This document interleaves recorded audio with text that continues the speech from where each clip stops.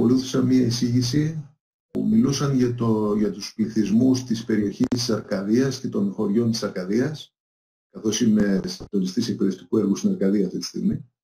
Ε, παρακολούθησα λοιπόν μία εισήγηση για το πώς ήταν οι οικισμοί την εποχή της ε, Επανάστασης, το 1921, ε, ποιοι οικισμοί είχαν πιο πολλούς Τούρκους, πιο πολλούς Έλληνες κτλ. κτλ. και διάφορες διαφάνειες τέτοιου τύπου. Αυτά τα κόκκινα σημαδάκια εκεί, θέλω να μου πείτε τι νομίζετε ότι είναι και πώς νομίζετε ότι τα βάλανε στο χάρτη πάνω. Όποιος θέλει ας πάρει το μικρόφωνο και ας ε, μιλήσει. Ε, ναι. Είναι σημάδια που δείχνουν το μέγεθος των ε, ε πληθυσμιακών στοιχείων, ας πούμε, το, τους πληθυσμούς των οικισμών. Οπότε καταλαβαίνουμε εμείς ότι... Οπότε ανάλογα με το μέγεθος μεγαλώνει και ο, ο, η διάμετρος του κύκλου, ας πούμε. Οπότε είναι, για να το πούμε πιο επιστημονικά, ένας τρόπος οπτικοποίησης του πληθυσμού του χάρτη. Εδώ λοιπόν βλέπουμε ότι υπάρχει ένας χάρτης. Ο χάρτης έχει γεωγραφική έννοια βέβαια, αλλά υπάρχουν και κάτι κόκκινες κουκίδες, οι οποίες δεν έχουν γεωγραφική έννοια. Οι κόκκινες κουκίδες περιγράφουν τον πληθυσμό. Αυτό που βλέπετε λοιπόν έχει βγει από το πρόγραμμα GIS και αυτός ο οποίος έχει ασχοληθεί με το πρόγραμμα GIS δεν είναι ούτε ηλεκτρονικός που λέει φωτεινή, ούτε πολιτικός μηχανικός. Είναι ιστορικός. Αυτοί τώρα που έχουν ασχοληθεί αυτό εδώ το GIS, ως γιατροί, δείχνει τη διάδοση του κορονοϊού στις διάφορες χώρες. Το συγκεκριμένο είναι μια εφαρμογή που μπορείτε να την κατεβάσετε και εσείς αν θέλετε, υπάρχει και σε κινητά και σε παντού. Και είναι μια εφαρμογή με διάφορα παράθυρα, τα οποία παράθυρα από μόνα τους δίνουν διαφορετικές πληροφορίες. Αριστερά, ας πούμε, είναι το παράθυρο που δείχνει πόσα κρούσματα υπάρχουν σε κάθε χώρα αυτή τη στιγμή, ταξινομημένα. Στο κέντρο βρίσκεται το αντίστοιχο που είδατε με τις κουκίδες, όσο πιο μεγάλη κουκίδα τόσο πιο πολλά τα θύματα. Δεξιά δείχνει ποιοι έχουν γιατρευτεί, τι γίνεται στην Αμερική κτλ. Όλα αυτά είναι παραμετροποιήσιμα, πατάς τους αντίστοιχους χώρους και σου δείχνει διάφορα πράγματα μεταξύ των οποίων και την Ελλάδα που βρίσκεται εδώ που πριν από δύο-τρεις μέρες που την έβγαλε αυτή την, αυτό το screenshot είχε 2.490 θύματα ε, ε, προσβεβλημένους και 130 νεκρούς. Λοιπόν, αυτό προφανώς επίσης δεν το φτιάξανε πολιτική μηχανική. Υπάρχουν ειδικοί άνθρωποι που ασχολούνται που μπορούν να ανήκουν σε οποιοδήποτε επάγγελμα, γιατί τα GIS χρησιμοποιούνται από πάρα πολλούς τομείς. Η ελληνική έκδοση αυτού είναι η εφαρμογή που σας δείχνω τώρα στην διαφάνεια που βλέπετε, που είναι η αντίστοιχη εφαρμογή που έκανε το Πολυτεχνείο. Χρησιμοποιούν όμως επίσης το GIS και αυτό είναι το ίδιο πράγμα με χρωματική κωδικοποίηση αυτή τη φορά. Δύο πράγματα θέλω να δείξω. Το ένα είναι του Μετσόβιου Πολυτεχνείου που σας δείχνω το βελάκι το πάνω. Το άλλο αυτό που δείχνω κάτω που λέει Open Street Map. Θέλω να το θυμάστε μόνο γιατί θα το χρησιμοποιήσουμε σε λίγο.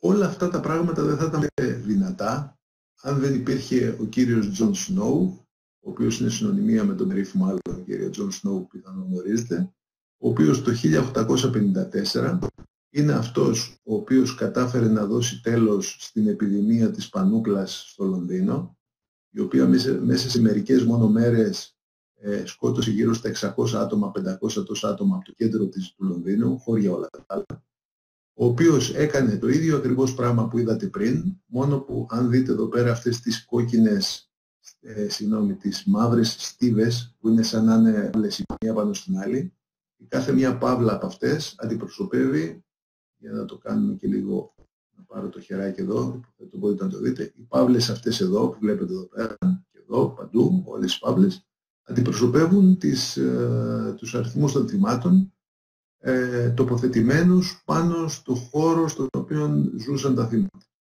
Τι έκανε λοιπόν ο κύριος Νόου, πήγε στη γειτονιά, κατέγραψε πού βρίσκονταν τα θύματα, τα τοποθέτησε με τέτοιο τρόπο ώστε να μπορεί να, κάνει μια, να βάλει μια περιγραφική πληροφορία πάνω στο γραφική, δηλαδή που είναι ο, ο χάρτης της περιοχής και από αυτό κατάφερε και έβγαλε συμπέρασμα ότι δεν έφταιγε ένα πράγμα που το έλεγαν μίασμα τότε εκείνη την εποχή, δηλαδή μια φοβερή μολυσματική βρώμα, θα το λέγαμε σήμερα, αλλά έφταιγε προφανώς το νερό αυτής της αντλίας που ήταν εκεί πέρα κάπου στη μέση και κατάφερε και το απέδειξε με αυτόν τον τρόπο.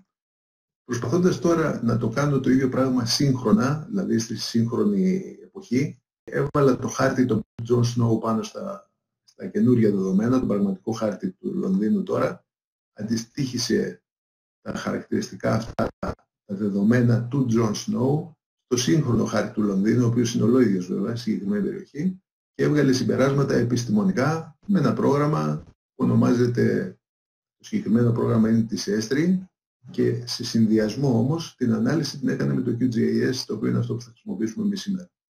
Οπότε, τι μπορούμε να κάνουμε και τι πράγματα έχουμε να μάθουμε σήμερα. Ένας που θεωρείται πατέρας του ηλεκτρονικού GS, σαν και αυτό που κατεβάζετε στον υπολογιστή σας, ο Τόμλισον, είπε ότι η γεωγραφία έχει πραγματική σημασία στη λήψη αποφάσεων των άνθρωπο και είναι σύνολο βασικών δεξιοτήτων πρέπει να ενσωματώσετε στην νεολαία μας. Η γεωπληροφορική τώρα που μας ενδιαφέρει, γιατί με τη γεωγραφία δεν πρόκειται να ξανασχοληθούμε, η γεωπληροφορική είναι ένας ευρύς κλάδος, ο οποίος έχει διάφορα πράγματα. Συνδυάζει τη γεωγραφία με τις περιγραφές, οι οποίες περιγραφές είναι ε, τοποθετημένες μέσα σε βάσεις δεδομένων, σε αντίστοιχα Excel δηλαδή, σε πίνακες φανταστείτε, μέσα στο ίδιο το λογισμικό, οπότε οτιδήποτε κάνει αυτό το λογισμικό συνδυάζει τη θέση με την πληροφορία. Δηλαδή, ένα πολύ κοινό λογισμικό είναι το Google Map. Το έχετε όλοι ή το έχετε στο κινητό σας. Θέλετε λοιπόν να δείτε πού είναι τα φαρμακεία. Αυτό το πού είναι τα φαρμακεία, το πού είναι, είναι η γεωγραφική θέση. Το φαρμακεία είναι πληροφορία. Θα μπορούσαμε να δούμε πού είναι τα βενζινάδικα. Πού είναι ε, εκεί που κάνει ζέστη τόσο. Θα μπορούσαμε να βρούμε με άλλο λογισμικό. Αυτό που σας λέω τώρα είναι περιγραφή, οπότε το να συνδυάζουμε περιγραφές που υπάρχουν σε δεδομένα που μπορούμε να βρούμε με το χώρο στον οποίο βρίσκονται αυτά, είναι γεωπληροφορική. Στη συνέχεια βέβαια έχουν δοθεί και άλλοι ορισμοί ότι είναι ένα ευρύ πεδίο εφαρμογών που συνδυάζει διάφορα πράγματα. Ουσιαστικά και αυτό σας λέει το ίδιο πράγμα, ότι σχετίζεται με την απόκτηση και διαχείριση χωρικής πληροφορίας, είναι επιστημονικός και τεχνολογικός τομέας που είναι η βάση τώρα των γεωγραφικών συστημάτων πληροφοριών. Τα γεωγραφικά συστήματα πληροφοριών ονομάζονται GIS στα αγγλικά και έχουν μείνει έτσι GIS τα λέμε γενικώς ή γουσουπού στα ελληνικά, γουπουσού όπως θέλει τα λέει ο καθένας ανάλογα ποιος είναι, αλλά γενικώς τα λέμε GIS.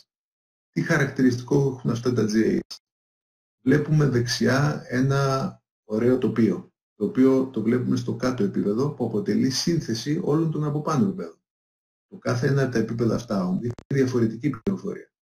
Αυτό που είναι ακριβώς πάνω από το τελικό, δηλαδή το νούμερο 2 από κάτω προς τα πάνω, δίνει μια πληροφορία η οποία προφανώς σχετίζεται με τις χρήσεις της γης. Αυτά λοιπόν που είναι μπλε είναι νερά, αυτά που είναι πράσινα είναι φυτά, αυτά που είναι καφέ είναι πέτρες και αυτά που είναι γκρίζα είναι πόλη. Αυτό που είναι πιο πάνω και είναι και λίγο κατσαρό, δείχνει πληροφορίες σχετικά με το υψόμετρο. Δηλαδή κάποια πράγματα είναι πιο χαμηλά από κάποια άλλα. Δεν μας ενδιαφέρει τι είναι αυτά τα πράγματα, είναι πιο χαμηλά από κάποια άλλα. Το αμέσως από πάνω μπορεί να δίνει πληροφορίες σχετικά ας πούμε με, με επιμέρους χαρακτηριστικά όπως με τα δέντρα. Δηλαδή πόσα δέντρα υπάρχουν. Εδώ λοιπόν υπάρχουν τόσα δέντρα αριστερά, τόσα δέντρα υπάρχουν δεξιά. Το αμέσως πιο πάνω επίπεδο μπορεί να δίνει πληροφορίες γραμμικές. Οι γραμμικές πληροφορίες μπορεί να είναι δρόμοι, μπορεί να είναι ποτάμια. Το αμέσως πιο πάνω επίπεδο μπορεί να δίνει πληροφορίες σημειακές. Μπορεί το κάθε σημείο να είναι ένα σπίτι, μπορεί να είναι κάτι άλλο. Δεν μας ενδιαφέρει λοιπόν πώς μπορούμε να απεικονίσουμε τις πληροφορίες αυτές; Αυτό που μας ενδιαφέρει είναι ότι όλες αυτές τις πληροφορίες και άλλες 100 φορές τόσες μπορούν να συνδυαστούν με γεωγραφικούς τόπους και σε αυτά τα πράγματα να μπορέσουμε να κάνουμε ερωτήματα. Μαζί με όλα αυτά συνδυάζονται το GPS που το ξέρουμε όλοι για να δίνει στίγματα για όλα αυτά που γίνονται. Η τηλεπισκόπηση που επίσης την ξέρουμε, ακόμα και δεν την ξέρουμε σαν όνομα. Η τηλεπισκόπηση είναι αυτό που παρατηρούμε όταν είμαστε σε μια στάση λεωφορείου και λέει το επόμενο λεωφορείο θα φτάσει σε τρία λεπτά. Κάποιος παρακολουθεί το λεωφορείο εκείνη τη στιγμή και ξέρει ότι θα φτάσει σε τρία λεπτά. Το ίδιο πράγμα κάνουν οι βιολόγοι, ας πούμε, οι οικολόγοι όταν παρακολουθούν μεταναστεύσεις των πουλιών. Το ίδιο πράγμα σημαίνει σε πάρα πολλές ε, επιστήμες. Προφανώς η τοπογραφία, η χαρτογραφία, η φωτογραμμετρία ε, είναι επίσης ε, σημαντικά πράγματα. Η φωτογραμμετρία που δεν ξέρετε πιθανόν είναι το να παίρνει ένας δορυφόρος ή ένα όργανο μια φωτογραφία από απόσταση και να καταφέρει αυτή να τη μεταφράσει έτσι ώστε να έχει τις σωστές διαστάσεις και να την προβάλλει κάπου. Αυτό είναι λίγο πιο πολύ λεπτομέρεια, δεν μας πολύ ενδιαφέρει. Υπάρχουν τώρα διάφορες προσεγγίσεις ανάλογα με το ποιος είσαι. Γιατί διάφοροι κλάδοι ε, θέλει ο καθένας να τραβήξει προς το μέρος του η γεωπληροφορική. Υπάρχουν λοιπόν και τα γεωγραφικά συστήματα βέβαια. Υπάρχουν λοιπόν κάποιοι οι οποίοι λένε ότι το, αυτό που μας ενδιαφέρει είναι η δημιουργία των στοιχείων. Υπάρχουν άλλοι που λένε ότι πρέπει να φτιάχνουμε χάρτες ψηφιακούς. Παραδείγματος χάρη, ε, μπορεί να, έχεις, να είσαι αρχαιολόγος και θες να φτιάξεις ένα χάρτη που να δει ε, πού βρίσκονται τα συγκεκριμένα μνημεία ή αρχαιολογικοί χώροι της Αθήνας, της Πάτρας, της Θεσσαλονίκης, δεν έχει σημασία. Μπορεί κάποιος να το κάνει αυτό σε ακόμα πιο μαζεμένο επίπεδο. Δηλαδή είσαι μέσα σε ένα μουσείο και θέλω να μπορεί να μου δείξεις πού βρίσκονται μόνο οι πίνακες και πώς λέγεται ο κάθε πίνακας. Όταν κάνω κλικ πάνω εκεί να μου λες ποιος πίνακας είναι αυτός και ποιος τον έφτιαξε. Οτιδήποτε. Όλα αυτά λοιπόν τα πράγματα έχουν μια προσέγγιση δική τους. Εμένα με ενδιαφέρει κυρίως όμως αυτό που έχω με κόκκινο, ότι βοηθούν στην επίλυση χωρικών προβλημάτων. Και το παράδειγμα που θα κάνουμε σήμερα σχετίζεται με αυτό. Ο Τόμλισον λοιπόν είναι ο κύριος εδώ, το περνάμε λίγο στα γρήγορα με τα γεωγραφικά συστήματα πληροφοριών μπορείς να λαμβάνεις αποφάσεις, γιατί τώρα πλέον για να πάρεις μια απόφαση δεν αρκεί να έχεις μια έμπνευση για να πάρεις μια απόφαση. Δηλαδή, ας υποθέσουμε ότι είναι περιοχής του καθενός και θέλει να πάρει μια απόφαση για να φτιαχτεί ένα σχολείο.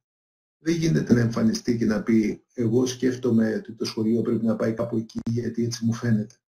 Θα πρέπει με κάποιο τρόπο να το τεκμηριώσει.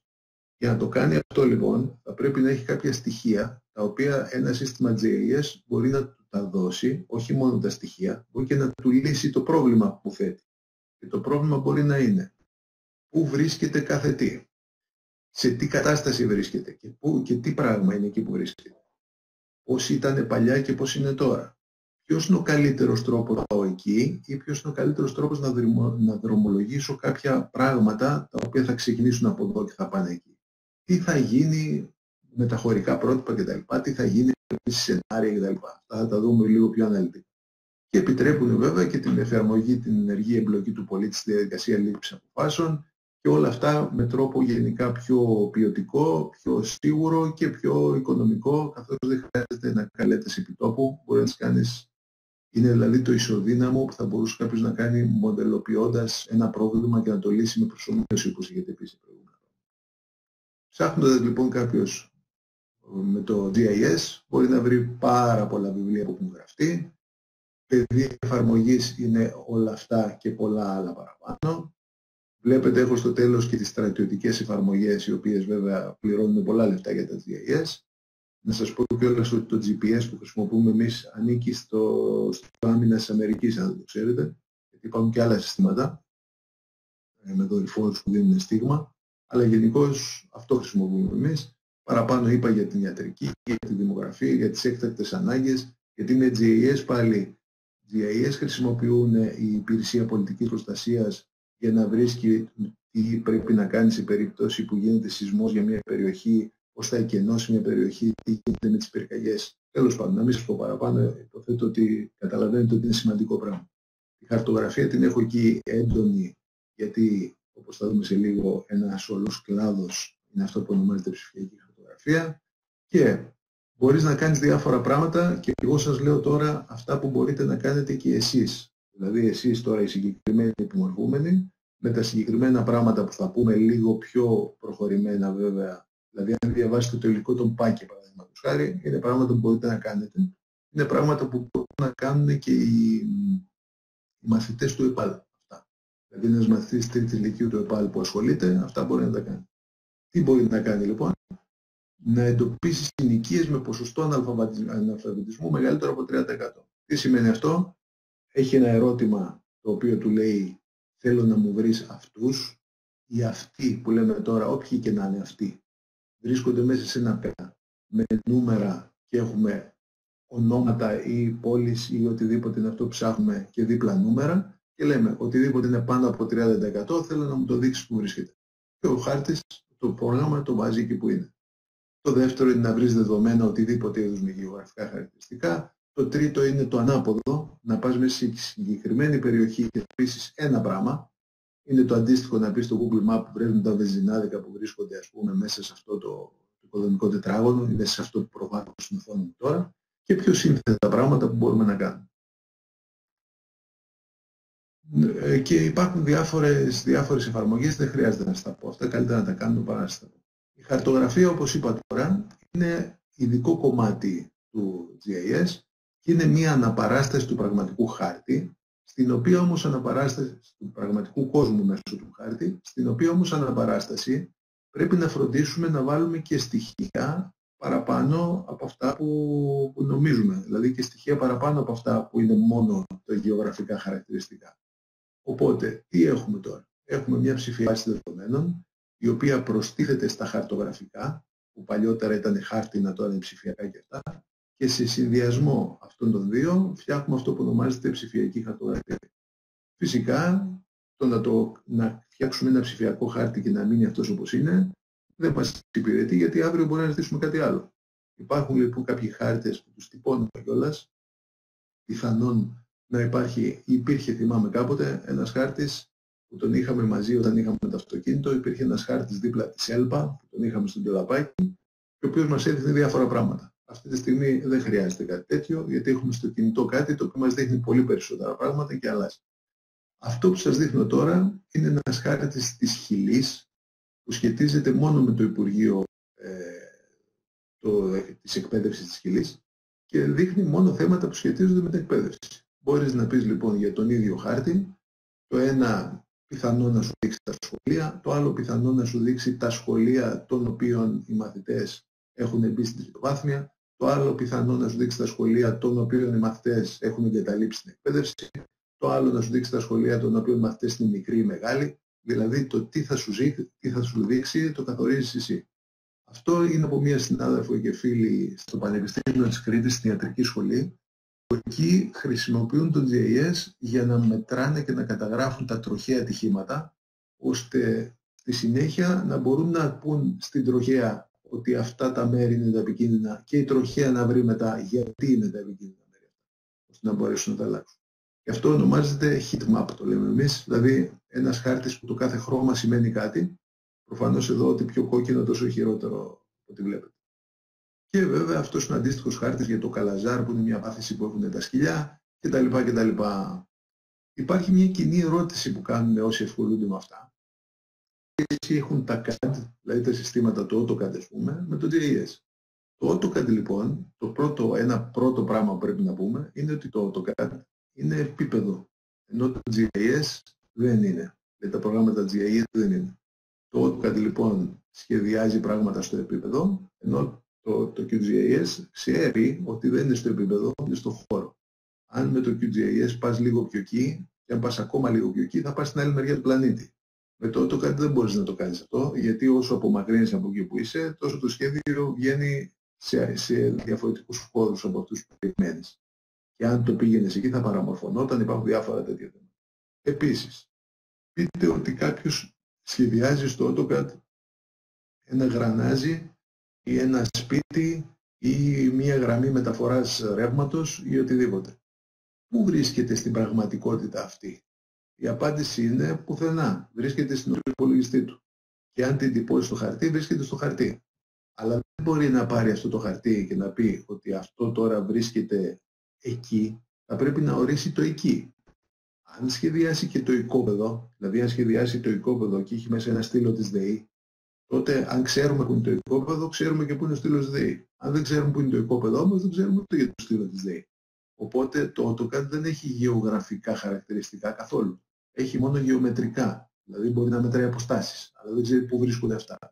Το δεύτερο είναι ότι το AutoCAD δεν έχει μέσα βάσεις δεδομένων. Δηλαδή μπορεί να έχει κάποιες μικρές βάσεις δεδομένων που σχετίζονται με, το, με τα κουφώματα, ας πούμε, αν υπάρχουν πόρτες παράθυρα που είναι τόσο επί τόσο η τάδε εταιρεία θα μπορούσε να έχει, αλλά δεν έχει καμία σχέση με όλα τα άλλα που λέμε εμείς τώρα, με πληθυσμούς, με ασθένειες, με, με οτιδήποτε. Οπότε είναι ένα τελείως διαφορετικό πράγμα, το οποίο όμως έχει κοινό ότι τη γεωγραφική πληροφορία τα και τα δύο. Αυτό που χρησιμοποιούμε εμείς τώρα είναι το QGIS. Υπάρχει και ένα άλλο το μεγάλο, ας πούμε, ο μεγάλος του αδερφός που είναι το ARC, το οποίο είναι το υποδοτικό πακέτο και το οποίο το χρησιμοποιούν πολλές εταιρείες και οργανισμοί. Υπάρχει όμως και το QGIS, το οποίο είναι το ελεύθερο. Κάποτε πριν από 10 χρόνια και περισσότερα πιθανόν να κάνει τα πρώτα του βήματα. Αυτή τη στιγμή το QGIS είναι φοβερά αξιόπιστο και δυνατό πρόγραμμα. Να ξέρετε, γιατί είναι πολύ σημαντικό αυτό, ότι δουλεύει στους υπολογιστές όλους Δηλαδή, δουλεύει πρώτα απ' όλα και σε Macintosh και σε Linux και παντού, ότι δουλεύει και σε παλιούς υπολογιστές και σε καινούριους, δεν υπάρχει κανένα πρόβλημα. Χρειάζεται βέβαια κάποιο χώρο εγκατάστασης, γιατί σας άκουγα πριν που συζητούσατε. Χρειάζεται συγκεκριμένη έκδοση δική μας γύρω στα 1,3 γίγα στην εγκατάσταση. Αυτό δεν σημαίνει όμως ότι η δική μας έκδοση τρέχει πιο αργά από την παλιά. Πείτε ότι ήμασταν σε ένα σχολείο και κάναμε μάθημα και είχαμε ένα εργαστήριο και θέλαμε, μας έλεγε ο διευθυντής, πάρε το εργαστήριο και στείλ μέσα το GAS. Το GAS. Ποιο version θα στείναμε, θα στείναμε τη version την πιο σύγχρονη, η οποία όμως έκδοση είναι να είναι και σταθερή. Η πιο σύγχρονη έκδοση όταν φτιάξαμε αυτό το, το PowerPoint ήταν η 3,8, αυτή τη στιγμή είναι 3,12, δεν έχει καμία σημασία όμως αυτό. Εσείς κατεβάσατε τώρα τη 2,18 πάνω, που είναι η τελευταία σειρά της 2, γιατί όταν βγάλαμε τα, τα, τις οδηγίες, εκείνη ήταν η πιο σταθερή και η πιο σίγουρη, εκείνοι δουλεύανε στα σχολεία και ακόμα βέβαια δουλεύουν στα σχολεία, οπότε θέλαμε να είμαστε σίγουροι ότι δουλέψει, μην κατεβάζετε κάτι πειραματικό και υπήρχε πρόβλημα. Αν όμως τώρα θέλετε να πάτε σε ένα σχολείο να κατεβάσετε μια έκδοση, μπορείτε να κατεβάσετε την 3,12 και είναι η τελευταία, η οποία βέβαια έχει και κάποια μικρή διαφορά στο interface, αλλά δεν υπάρχει πρόβλημα. Δεν υπάρχει πρόβλημα λειτουργίας. Αυτό μας ενδιαφέρει μας. Οποτεδήποτε ακούσετε παράπονο στο σχολείο που λέει ότι το πρόγραμμα είναι βαρύ και δεν μπορεί να τρέξει κτλ. Να ξέρετε ότι δεν οφείλεται στο πρόγραμμα. Το μόνο που βαραίνει το πρόγραμμα αυτό είναι επειδή κάποια στιγμή, αν θέλεις ταυτόχρονα να έχεις και χάρτες, όπως θα δούμε εμείς σε λίγο, και ο χάρτης είναι κάτι το οποίο είναι δικτυακό και κατεβαίνει εκείνη την ώρα, αν λοιπόν έχουμε τώρα 15 μαθητές και κατεβάζουν ταυτόχρονα από 15, μαθητές, από 15 υπολογιστές το χάρτη, ε, μπλοκάρει το ίντερνετ, οπότε ζορίζεται. Αυτό εννοώ. Λοιπόν, η οθόνη του πάει κάπως έτσι, αυτό θα περνάω λίγο γρήγορα, δεν έχει σημασία. Θα σας τα δείξω έτσι κι αλλιώς θα τα δούμε όλοι μαζί. Να πω δύο-τρία πραγματάκια ακόμα για να κλείσουμε είναι ότι αυτή τη στιγμή, καθώς όπως ξέρουμε υπάρχουν κινητές συσκευές, όλα από εδώ και πέρα θα μπορούν να δουλεύουν και σε κινητές συσκευές.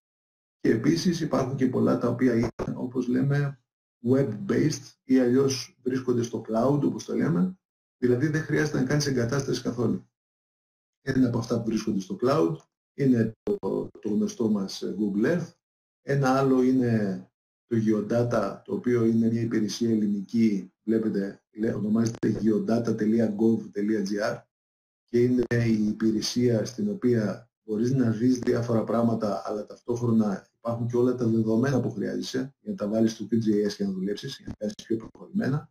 Ένα άλλο, σας δείχνω τώρα διάφορα, έτσι, διάφορες φόρμες ε, και εφαρμογές GIS, που είναι cloud, ένα άλλο είναι η αρχή ρυθμιστικής ενέργειας, ο χάρτης της ρυθμιστικής αρχής ενέργειας που μπορούμε να βρούμε εκεί οποιαδήποτε ανεμογεννήτρια, φωτοβολταϊκό, γεωθερμικό σταθμό υπάρχει στην Ελλάδα. Μπορείτε να βρείτε δίπλα στο σπίτι σας, ας πούμε, το πιο κοντινό σπίτι σας που είναι, άμα θέλετε. Ένα άλλο που είναι, είναι ε, αντίστοιχη εφαρμογή που είναι του Δήμου Θεσσαλονίκη, την οποία θα δούμε και λίγο σε λίγο. Υπάρχει αντίστοιχη της Πάτρας, που κάθε Δήμος έχει τις δικές του αυτή ας πούμε παραδείγματος χάρη είναι της Πάτρας.